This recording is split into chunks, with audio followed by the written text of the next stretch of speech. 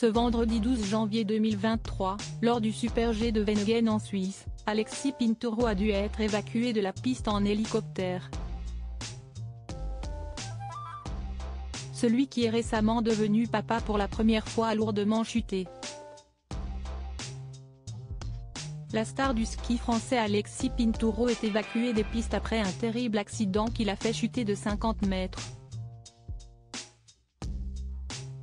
Six jours seulement après qu'il soit devenu papa pour la première fois, peut-on lire ce vendredi 12 janvier sur le compte X du Daily Mail?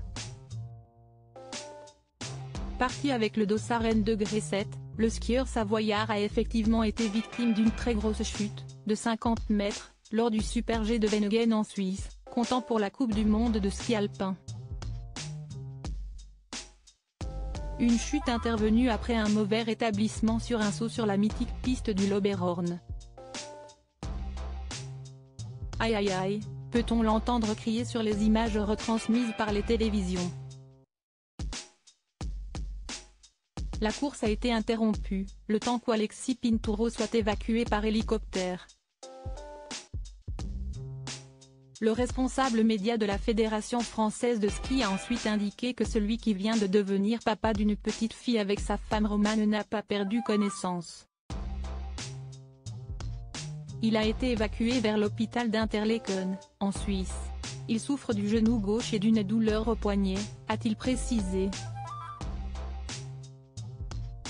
Alexis Pinturo, plus de peur que de mal? Un accident qui risque d'être synonyme de fin de saison pour le skieur. Jeudi, sur la même piste de Wengen, il avait signé le meilleur résultat de sa carrière en descente, 9ème, lui qui veut désormais exister dans la discipline reine du ski, il ne skie plus en slalom.